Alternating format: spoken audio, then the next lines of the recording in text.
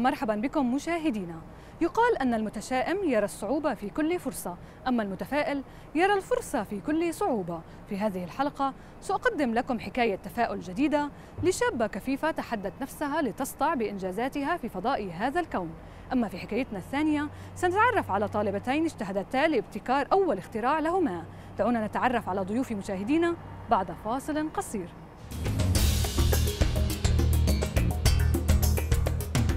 من رحم المعاناة تولد القوة. في هذه الفقرة مشاهدينا سنتعرف على شابة مقدسية جسدت أسمى معاني الإصرار والأمل. فقدت هذه الشابة نظرها منذ أكثر من 16 عاما ولكنها خلال هذه الأعوام حققت العديد من الإنجازات. فمن هي هذه الشابة؟ ما هي التحديات التي واجهتها؟ دعونا مشاهدينا نتعرف على الشابة الأستاذة هزار عوض الله. أهلا بك هزار. أهلين أهلين فيكي هزار في البداية لو تحكي لنا كيف فقدتي نظرك والظروف اللي مريتي فيها خلال هذه الفترة؟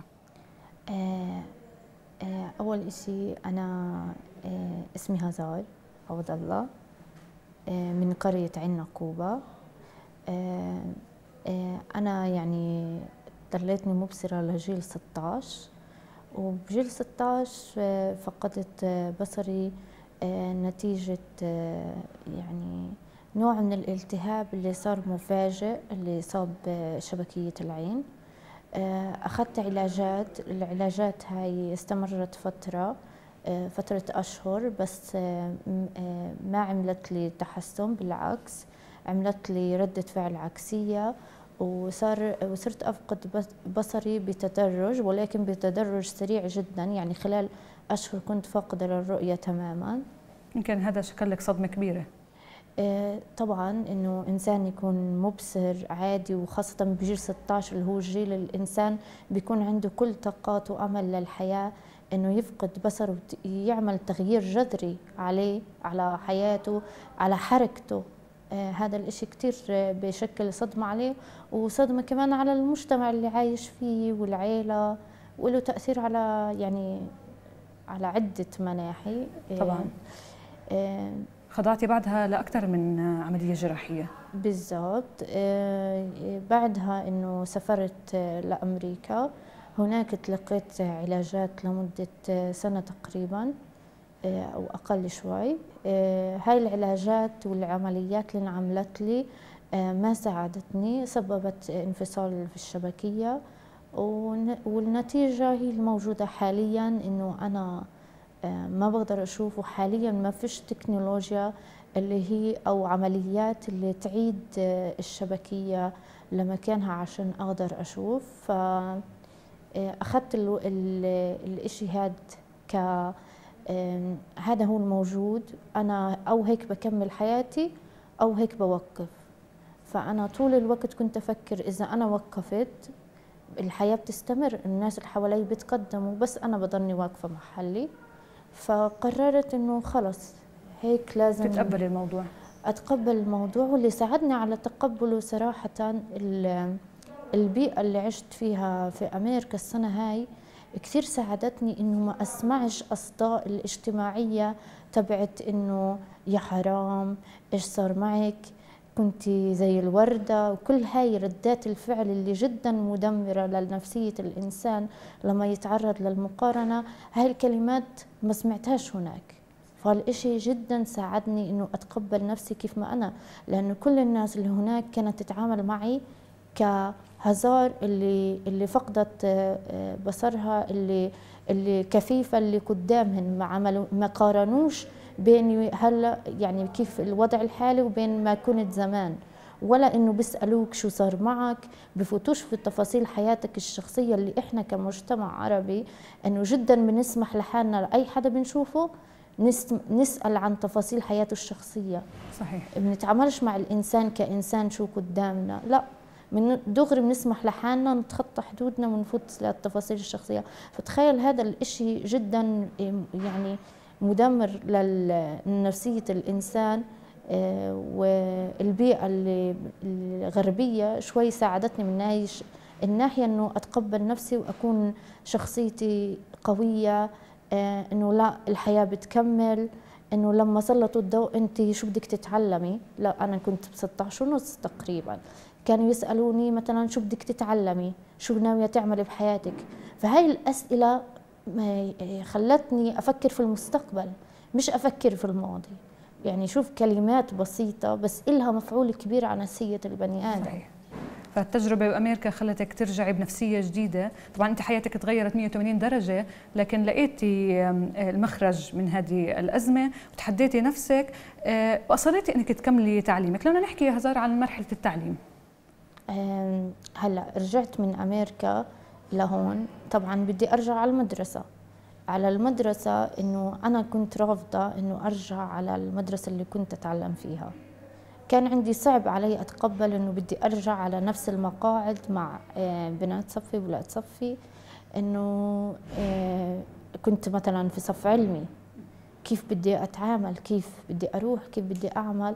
فتوجهنا لعناوين معينة وقررت إنه أكمل في مدرسة اسمها بيت صفافة الثانوية اللي هي هاي المدرسة عندها تجربة دعم لأشخاص آه، مع آه، إعاقة بصرية. فهذيك آه، المدرسة عادية استقبلتني بس هناك تلقيت الدعم من قبل مستشارة المدرسة. ومن قبل الطاقم إنه وطبعا أهلي طول الوقت كانوا داعميني إنه لازم تكملي بالرغم من إنه الصعوبات. فهون بلشت الملائمات والموائمات إنه بقدرش أقرأ فلازم إنه طريقة مختلفة للدراسة اللي هي السماعية تسجيل الحصص نجيب كتب من مكتبة للمكفوفين مسجلات صوتيا. آه، بلشت إنه آه، عالم جديد. هلا العالم هذا كان صعب علي خاصة في دراستي للتوجيهي آه، يعني كان عندي صعب إنه أقعد أدرس مادة كبيرة وهيك تسجيلات. في هذاك الوقت كان تسجيلات آه، آه، آه، كاسيتات وهيك اللي هي لازم أرجع مثلا عشان أوصل لصفحة معينة لازم بدي عشر دقائق مثلا لأوصل هاي الصفحة بالتسجيل هاي الأشياء كانت شوي مدمرة لي مرات كنت أرمي كل شيء وأقعد أبكي. إنه خلص. إحنا بنحكي عن مرحلة يعني قبل 16 سنة ما كان فيها الموائمات المناسبة بالزبط. للأشخاص مع إعاقة. بالضبط هيك. ف بالرغم من هاي الصعوبات قدرت إنه آه، أتحداها وأكمل وأخلص طبعا. وبعدها قررت إنه بدي أكمل تعليمي. أنهيت شهادة التوجيهي أخذت معدل 96.4 آه، فهون أجت إنه بدي أفوت على الجامعة. الجامعة صعب الإنسان يدخلها بدون ما يكون عنده أدوات وبدون ما يكون محضر وعنده استقلالية كاملة. هون من ناحية التعليم ما حسيتش في عندي استقلالية. ف آه، آه، من خلال يعني حاولت أعمل هيك استفسارات كيف أشخاص مكفوفين بيكملوا في الجامعة وإلى آخره. فوصلت لمركز للمكفوفين اللي هو موجود بحيفا. هذا المركز إنه آه، بعطي أدوات إنه بهيئ الإنسان للحياة المستقلة. انتقلت للجامعة وهناك بلشت دراستي الأكاديمية. انقبلت للجامعة آه، في جامعة حيفا بلشت أدرس. درست بكالوريوس فلسفة وعلم اجتماع. وكمان بنفس الوقت عملت دبلوم تربية في آخر سنتين. للقب آه، هلا الحياة ما كانتش وردية بالجامعة. في حياة اجتماعية في حياة في صعوباتك أنت كإنس يعني آه، كيف بدك تتأقلم بالدراسة؟ عندك مواد جدا كبيرة. فأنا كنت أضطر إنه أسجل المحاضرات أروح على السكن الطلاب كنت ساكنة بسكن الطلاب تبع الجامعة. هاي المحاضرات أرجع أعيد كتابتها بلغة البراي. عشان أقدر أقرأ. هلا هذا الإشي بكفيش في كتب بدك تقرأها. فطبعا الكتب هاي كنت من خلال المتطوعين اللي كانوا يساعدوا بالجامعة إنه يقرأوا لي المواد بس طبعا ما كانش يكفي. فكنت أضطر من يعني أجيب مواد ملخصة إنه أستخدم آه، علاقاتي الاجتماعية عشان أقدر أغطي الأشياء اللي أنا بقدرش آه، بنفسي آه، أعملها؟ هزار يعني أنت تخطيتي مرحلة الدراسة الجامعية وتخرجتي وطبعا فكرتي كباقي الخريجين بسوق العمل بدك تشتغلي. المشاكل اللي واجهتيها بسوق العمل هزار؟ صحيح. أنا آه، كنت موجودة بحيفا بهديك الفترة فلما بدي أفوت على سوق العمل آه، ما فيش كتير فرص عمل مفتوحة أصلا بالشمال وبحيفا فقررت إنه أرجع للقدس هون لما رجعت للقدس كان صعب إنه دغري أفوت على أي مدرسة ويكملني مدير المدرسة. يعني حتى في كانوا يحددوا معي ولما كانوا يعرفوا إنه كفيفة يلغوا المقابلة.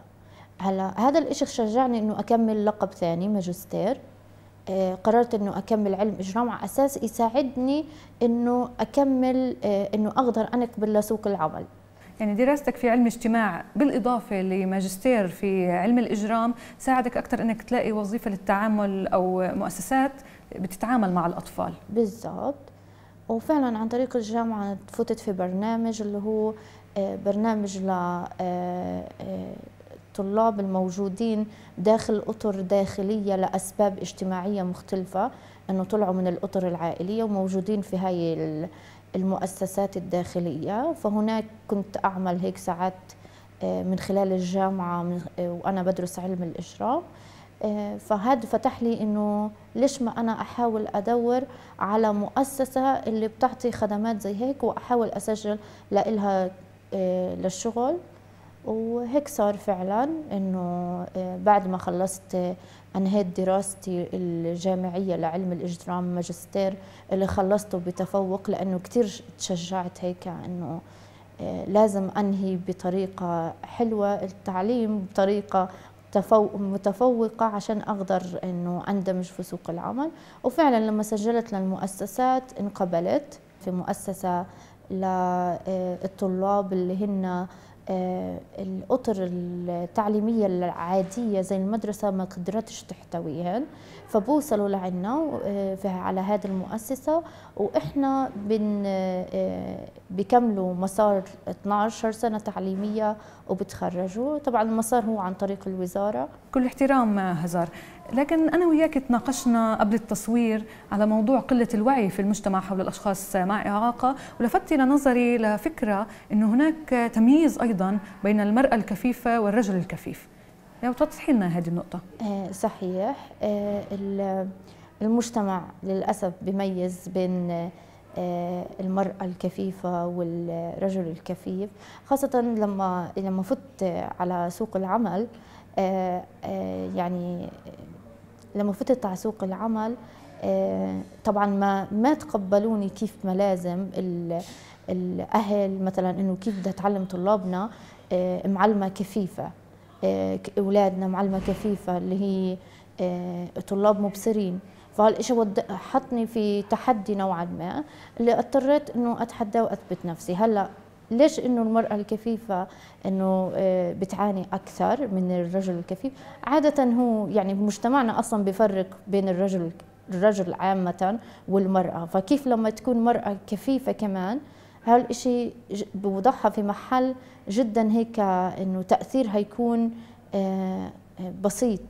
مهما تحاول مهما تحاول بيشوفوش كل القدرات اللي ممكن تعطيها لأنه بضلوا براسهم إنه هاي يعني مرأة. كيف وين الإشي شفته أكثر مثلا آه، لما يكون أنا يعني له أصدقاء كمان مكفوفين لما يكون مثلا موجود آه، رجل كفيف فباخده بالرغم من أنه أنجازاته أقل باخذ هو كل الاهتمام أكثر وبكون لما بحكي بتكون كلمته مسموعة أكثر.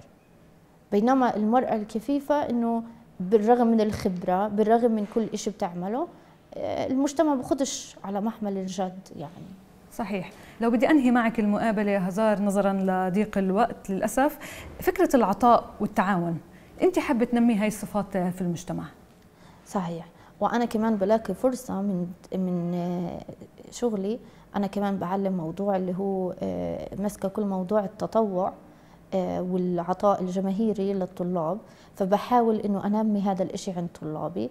وكمان أنا لما بكون مثلا آه، ماشية إنه بالشارع وبدي أصلا مرات بكونش بدي مساعدة بس عشان إنه آه، وعي إنه الإنسان إذا مرة واحدة قال له إنسان ما بديش مساعدة فهذا الإشي بيحبطه بصير يقول إنه أنا كانت نيتي منيحة وبدي أساعد وبدي هاد.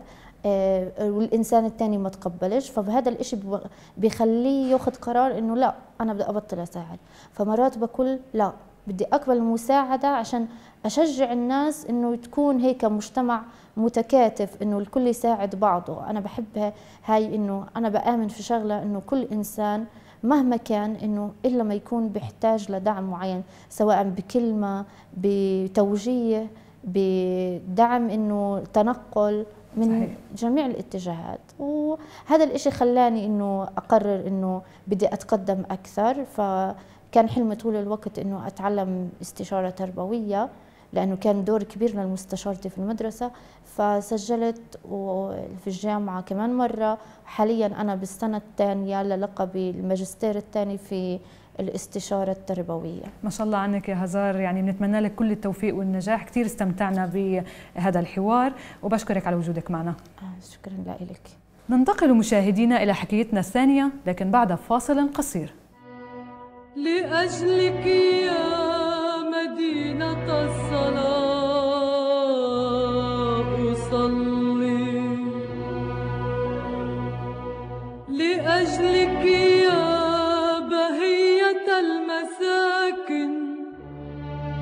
زهرة المدائن.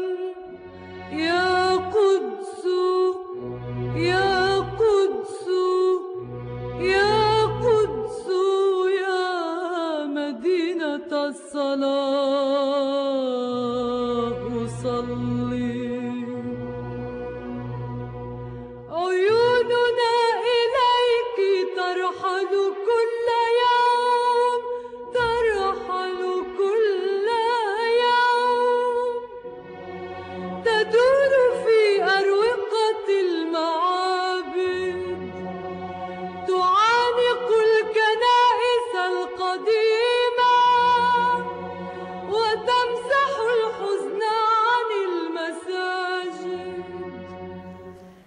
اختراع جديد أقدمه لكم مشاهدينا في برنامجكم حكاية مقدسية وتحديدا عن اختراع شارك في معرض فلسطين للعلوم والتكنولوجيا وهو الوسادة الذكية. تحتوي هذه الوسادة على مجسات تقيس درجة حرارة الطفل ليرسل إلى الأم إنذار في حين ارتفاع درجة حرارته. والحديث أكثر حول هذا الموضوع. يسرني أن أرحب بمبتكرات هذه الوسادة الذكية. الطالبة رغد أبو غيث والطالبة مريم عايش من مدرسة سمهر الثانوية. أهلا وسهلا فيكم.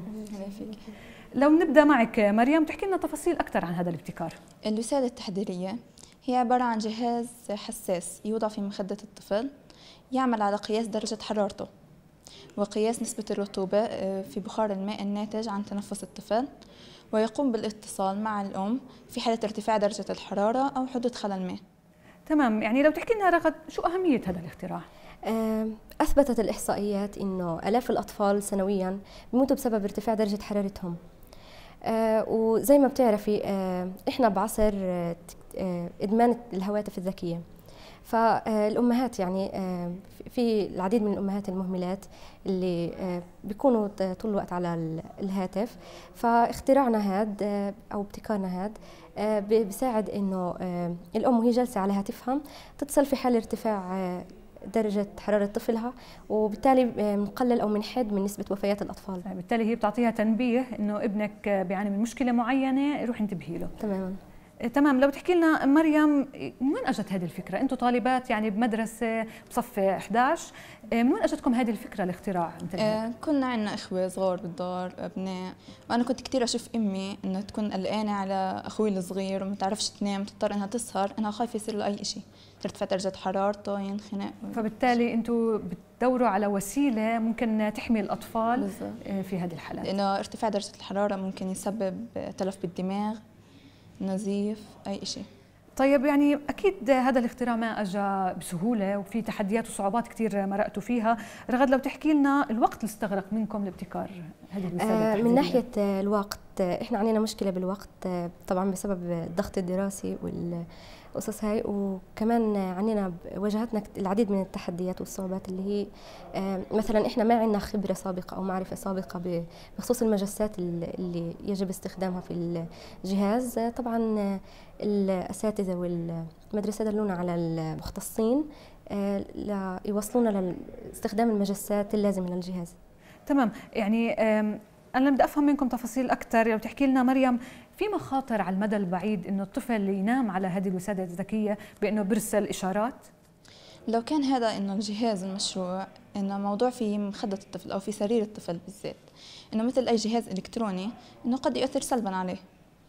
بالضبط. فإحنا رح نعمل لقدام إنه يكون إنه المجسات تكون بسرير الطفل وقريبة منه أما الجهاز بحد ذاته إنه يكون بعيد عنه بس متصل بهذه المجسات. طيب عشان نقرب للمشاهدين أكثر شو رأيكم نجرب تجربة عملية لهذا الجهاز؟ آه، هلأ رح أشرح عن آه، الجهاز الجهاز بيتكون من مجسين مجس للحرارة والرطوبة ومجس للصوت. آه، بمجرد إنه الطفل يعطي آه، ترتفع درجة حرارته أو آه، يبدأ بالبكاء. طبعا بتعرفوا الأطفال بيبدوا بالبكاء لما ترتفع درجة حرارتهم. هلأ أنا رح أعطي ردة فعل على الجهاز إنه للرطوبة هلأ انبعت رح ينبعت اتصال لهاتف الام باسم الوسادة التحذيرية ورح تنبعت كمان رسالة محتواها إنه إيش مال الطفل سواء ارتفع درجة حرارته أو بعيط أو مستوى الرطوبة عنده كان عالي. تمام اللي فهمته منكم إنه آه، هذه هذه الوسادة التحذيرية ما بترسل فقط إنذار للأم أو برن البليفون آه، بس في حالة ارتفاع درجة الحراره هي بتقيس أكثر من شغلة. تقيس درجة الرطوبة هناك مجس رطوبة ومجس للصوت آه، في حالة بكاء الطفل. أكيد كان للأهل والمدرسة دور كبير في تشجيعكم ودعمكم لاستمرارية عملكم لنجاح هذا المشروع. مريم تحكي لنا عن هذا الدور. طبعا الأهل كانوا يشجعونا كثير يعني وحكوا لنا ساعدونا بترتيب الأفكار كيف ممكن إنه نعمل الجهاز المشروع. شجعونا كمان نوصل هاي الفكرة للمدرسة. هلا المدرسة إنه تقبلت الفكرة إنه وافقت عليها وشجعتنا عليها وشاركتنا بالمسابقات ووفرت لنا كمان مواد لتوف... لإنجاز المشروع. نشير للمشاهدين أنتم في مدرسة سمهر الثانوية الموجودة في الطور. وكان الأساتذة دور كبير في آه، تطوير هذا المشروع صحيح؟ يعني رغد لو بدنا نحكي آه، قديش مهم العمل الجماعي. أنت ما اشتغلتي لحالك آه، وبرضه مريم ما اشتغلت لحالها بالتعاون مع مع بعض قدرتوا إنكم تطلعوا بهذا الابتكار. احكي لنا عن الدور آه، الاجتماعي. كان للعمل الجماعي دور كتير مهم في إنجاز مشروعنا فكما ذكرت كان في عنا ضيق الوقت خاصة إنها بمرحلة مهمة بالدراسة فلما تعاوننا مع بعض وقسمنا المهام على بعض آه، تمكنا من إنجازه بوقت نوعا ما يعني كان قصير مقارنة بال آه، بالضغط والوقت اللي بلشنا فيه فأنجزنا المشروع. كل احترام آه، رغد آه، يعني مريم أنا حابة أعرف منك آه، لإيش بتطمحوا؟ شو نفسكم؟ لوين يوصل هذا المشروع؟ هل في حابين إنه مؤسسات تتبنى مشروعكم لتطويره؟ وهل في مجال أصلا لتطويره أكثر بنتمنى طبعا إنه هذا المشروع إنه مؤسسات تتبناه عشان بدنا دعم مالي يعني. وإنه كمان يصير بطل بس بالبيوت إنه كمان يصير بالمستشفيات. صحيح بالتالي إنه أكبر شريحة من المجتمع تقدر تستفيد منه, منه. يعني بنشير كمان إنه مش بس البيوت أو أمهات تقدر تستفيد منه المستشفيات بتواجد هذه الوسادة الذكية أو التحذيرية ممكن إنه ينقذ كثير من الحالات صحيح؟ طيب. شكرا لكم شكرا على تواجدكم معنا اليوم. نتمنى لكم كل التوفيق والنجاح آه، في حياتكم ومستقبلكم. شكرا لكم.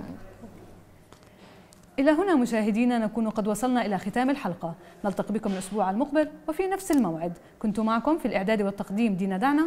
في أمان الله.